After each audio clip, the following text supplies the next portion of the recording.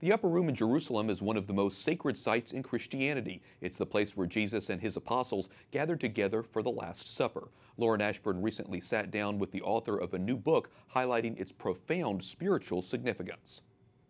Joining us now is Monsignor Peter Vaghi, pastor of the Church of the Little Flower since 2004 in the Archdiocese of Washington and a prolific author. Just released a new book called Meeting God in the Upper Room. Welcome to the program. Lauren, thank you so much for including me today. I'm so happy to have you here, really. Yeah. I really am. Yeah.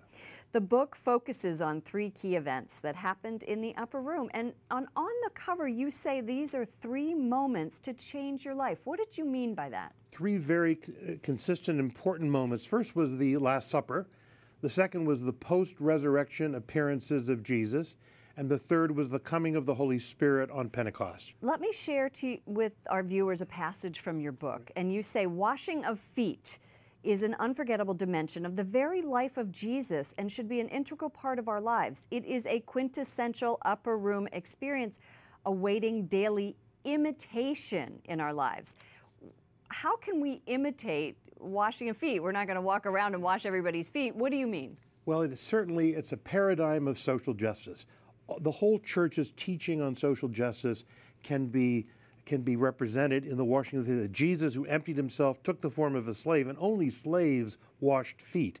And anytime we engage in social teaching of the church, live the social teaching, which is constitutive of the gospel, we are washing feet. How? What can I do? Give me an idea of what I can Calling someone who is not well, visiting someone at home or in the hospital, uh, soup kitchens. We have all these different options, particularly here in the Archdiocese, but all over the country, ways in which we wash feet. We serve others out of love after the example of Jesus in the upper room. And I know that's something that you do every day in your in your daily life and you encourage people uh, like myself who are in your parish to, to do so. What motivated you to write this book? You've already written, what, five before you well, wrote this one? I guess one? part of it was I went to the, um, to the Holy Land a number of years ago on pilgrimage, and I went to the upper room with all of our pilgrims.